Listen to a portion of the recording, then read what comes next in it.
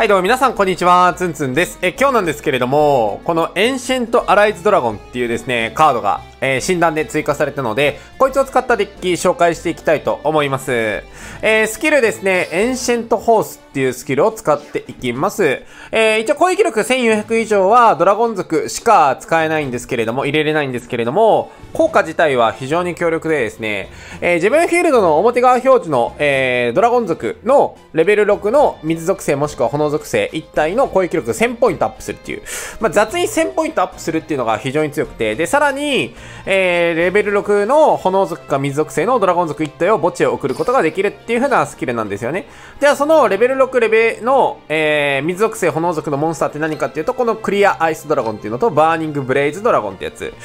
例えば、バーニングブレイズドラゴンと、まあ、てかまあ、この2つはですね、効果自体はそんな見なくて大丈夫です。えー、大事なのは、えっ、ー、とですね、打点ですね、まず一つ目。打点1800、打点1600。これね、ヤメルーラ貫通できます。ヤメルーラが2500なんですけれども、あいつらに、あいつに対して上から殴れます。はい。なんで、それがまず非常に強い。で、えー、っとですね、エンシェントアライズドラゴンの効果っていうのが、あの、打点まあ、600アップするんですよ。その後に墓地のクリアアイスとバーニングブレイズを1体ずつ選んでデッキに戻したら、相手フィールドの守備力1500以下の表側表示モンスター1体を破壊することができるんですね。なので、えー、スキルを使って墓地を肥やして、えー、打点作りつつ、エンシェントアライズドラゴンの効果を起動していくっていうのがコンセプトになります。はい。で、えっ、と、デッキバランスなんですけど、これ上級が多いんですよ。どうしてもその兼ね合いで。1、2、3、4、5、6、7、8、9、10になってます。で、一応ここ、リミさん、フェニックスドラゴン1枚ドラギアスに変えてもいいので、そうすると11とかになるんですよね。で、このラッシュデュエルの構築論なんですけど、このね、上級が多い時に無理に30枚に収めようとすると、デッキバランス絶対悪くなります。はい、あの、火球が少なくなるか、罠が少なくなるか、どっちかになります。なので、こういう風な、上級をたくさん入れざるを得ないデッキ、デッキコンセプト的には、に関しては、俺はデッキ枚数を増やしていいと思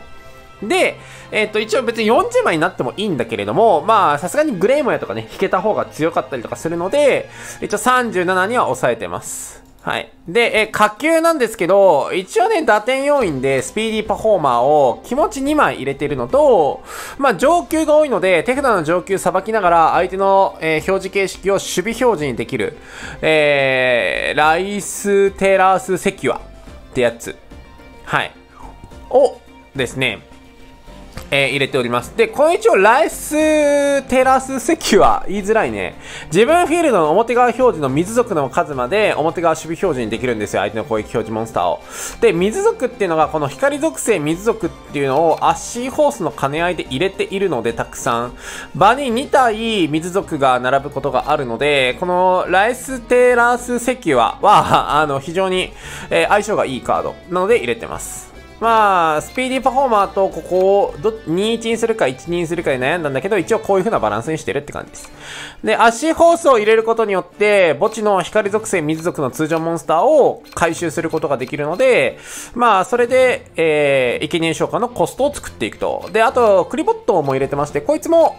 あの、生贄消化のコストを作る、みたいな感じです。で、資料の数束縛があるんですけど、こいつね、打点低いんですよね。まあ、エンシェンターライズドラゴン守ればいいので、別にいいんですけど、で、クリアアイスドラゴンとバーニングブレイズドラゴンの打点が1816で、相手ターンに殴られるのに非常に弱いんですよ。なんで、まあ、楽器の独演の方が強いかなとも思ってるんだけど、俺これ2枚しか回収してなくて、もうリセットかけてるんで、これを3枚今から引きに行くのは、さすがにあれなんで、一応こうしてますが、えっ、ー、と、諸説つある、この辺。資料の束縛を1枚減らして、ここを3枚にするかどうかっていうのは非常に悩んでます。はい。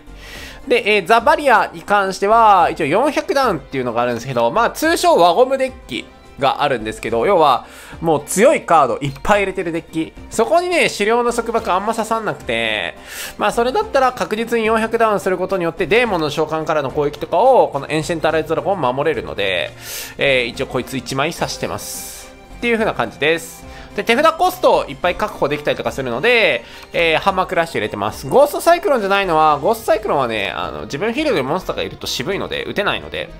で、えー、一回盤面作ったのを俺は守っていくコンセプトでやってるから、5手1でしか使いづらいゴーストサイクロンじゃなく、ハンマークラッシュにしてます。というわけで、えー、今からリプレイ解説やっていきたいなと思います。えっ、ー、と、まずはじめが理想的な動きから、えー、まあ、こんな感じで動いていくよ、みたいなところとかをやっていって、まあ、耐える動きだったりだとか、あと上級がね、多いデッキの、その、手札の、あの、リソースの使い方についてちょっと話したいことがあるので、まあその辺とかを最後の3試合目でやっていきたいと思います。3試合目はね、すごくいいリプレイっていうよりも、どっちかっていうとそういうさばき方とかそっちに方面の話かな、していくのは。で、えー、今回セットセットの、これはね、もうさばき方っていうか手札がちょっと渋くて、もうこうするしかないみたいな。で、別に2枚この上級持っててもしょうがないんで、えっ、ー、と、普通にこいつ、あの、守備表示でセットしていきました。で、アッシーホース、アッシーホース効果で、墓地の光属性水属の通常モンスターを回収することができます。で、えー、こいつ出してでクリアアイスドラゴン反転召喚。クリアアイスドラゴンの効果発動、えー、こいつの打点を1000ポイント上げながら、えー、これは2位なんですけれども今回はバーニングブレスドラゴンを落としました。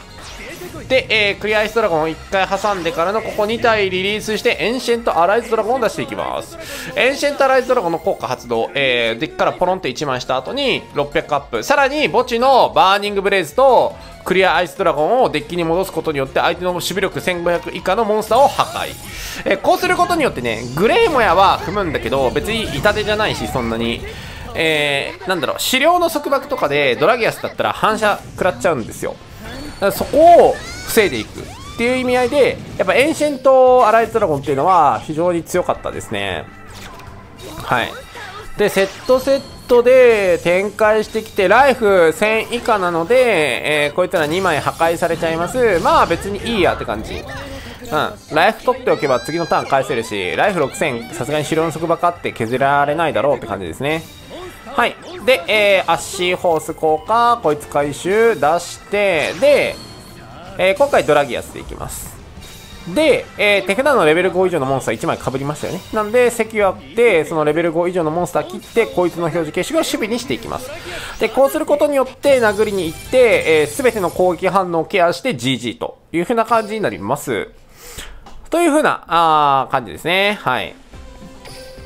まあ、このエンシェンターライズドラゴンは、性能自体はバカ強いし、スキルの介護もあるので、まあ、全然戦えるデッキだと思います。まあ、課題っていうのは、やっぱりちょっと上級の多さと、まあ、相手ターン時の打点の低さ、セブンスロードみたいな感じだね。はい。まあ、そんな感じかなとは思っております。で、セブンスロードよりも属性がバラバラで入れることが割とできるので、比較的ね。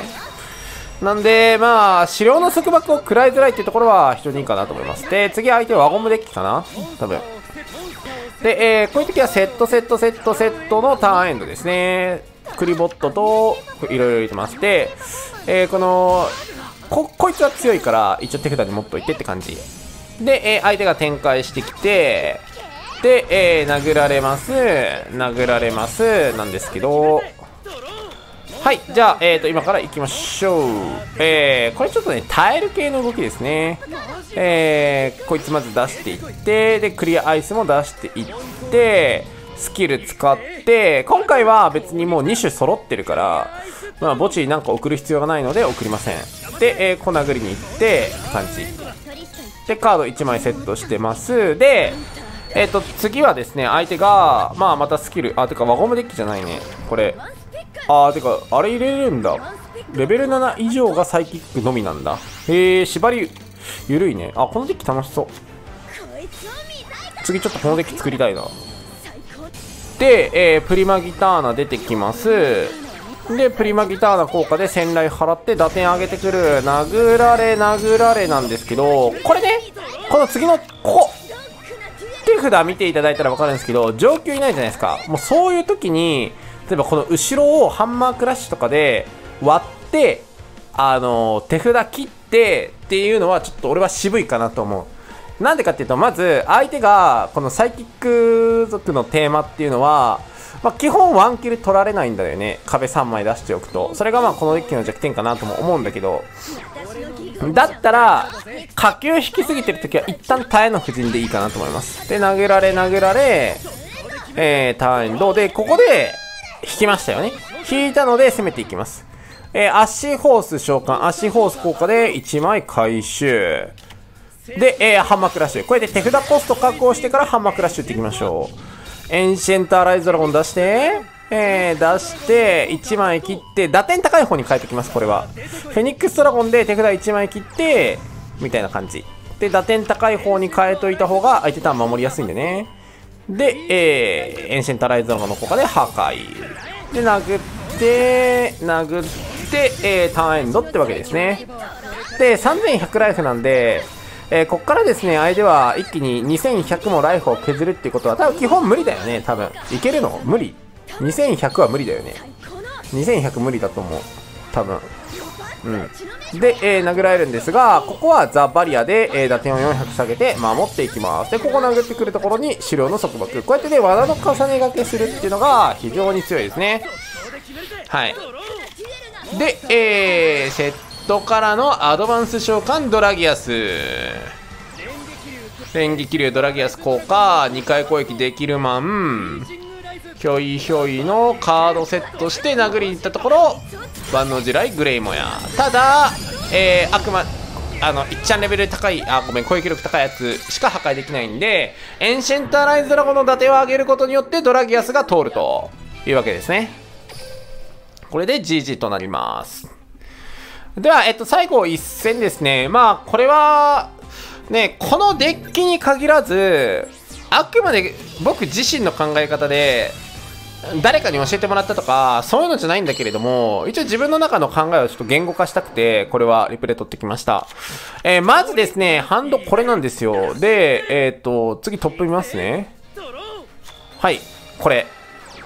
これです。下級下級上級上級これねよくありますこのこのデッキでまずラッシュ始めた時の俺は脳死で下級3伏せしましたでもこれね下級3伏せしちゃうと何が問題あるかっていうとデッキの中の下級を次3枚引けるかどうかなんですよ。要はこの上級を出しながら上級2体出したいじゃないですか次のターン。ってことは俺の次のトップドローが下級下級下級じゃないと渋いんすよ。で下級1枚でも渋いんすよ。こいつ出せないからエンシェントアライズ。エンシェントアライズは最低限着地させたいってなると次のトップドローで下級2枚引かないといけなくなるんですねここ全部捨てちゃうとそれはちょっと勝率下がるかなと思いますであれば割り切りましょう何かをライフポイント6000せっかくあるんで、俺はだけど、ここ2伏せにしました。あ、2伏せじゃない、ごめん。こいつ出して、えっ、と、よいしょ。で、伏せて、こうしました。ごめん。こうすることによって、えっ、ー、と、ドラギアス飛んできた時は、壁が薄くて裏目なんですよ。でも、ドラギアス以外だったら、言うてライフ耐える。っていう風な布陣を作ります。そうすることによって、次トップ3枚引いて、3枚中、最低1枚下級引いたらいいんよな。で、えー、3枚中2枚下級引いて1枚上級でもいいし、2枚下級引いて、1枚罠でもいいみたいな。っていう風に受けを広くする。これがね、なんか結構ラッシュで勝つ上で、相手がと、相手のトップドラギアスはもう捨てようみたいな。どうせ3枚しか入ってないカードだし、みたいな。っていうような割り切りは、俺は結構大事かなと思います。えー、ドラギアスであります バカ強い泣きそう助けて 殴られて殴られますいったバカ痛いまあしょうがない。これはマジでしょうがない。でもまあ俺はちょっとこういう考えもあるよっていうのを伝えたかった。でこうすることによってえー、こうしてでこれね俺ちょっとミスってってこのね石話の効果でこいつ守備にしてドラギアスでバーンバーンの方が打点25残るから強かったかなと思って。いやでもねに打点25残いや違うな。打点25やっぱ残しても意味ねえな。あの結局狩猟の束縛割られたらダメなんですよ。なんかドライクスレイヤーだっけ？罠割ってくるやつ。あいついったら結局25打点上から抜かれちゃうからまあこれでいいな。ポロンと落として1枚2枚でグレーまで落とすのマジでこいつ無能すぎる。